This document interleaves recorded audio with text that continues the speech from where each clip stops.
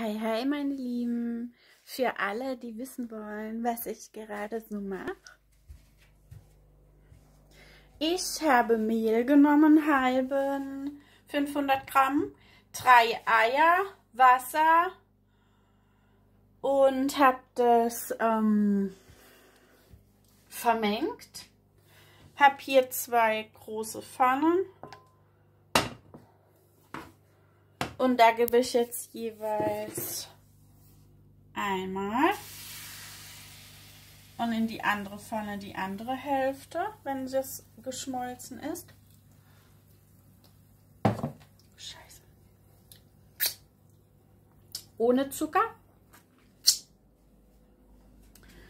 Und ähm, das wird dann so klein gemacht wie Kaiserschmarrn als äh, Kohlenhydrate mit Ei, ja.